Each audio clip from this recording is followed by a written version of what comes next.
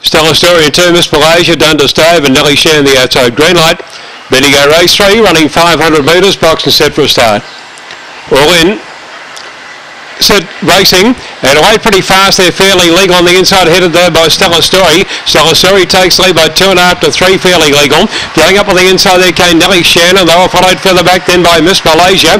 Then linked it up two way, then came Brandy Bell. Gap of the race between Adelaide Road, followed well back by Bacali Lewis, and the trailer there is Dundas Dave. Up to the turn, it's all Stella Story at the moment. It's about four or five lengths out in front over Fairly Legal. Up to second again, but it's going to be Stella Story from Fairly Legal. Third would go to Miss Malaysia, followed then by uh, Brandy Bell and also Nelly Share together.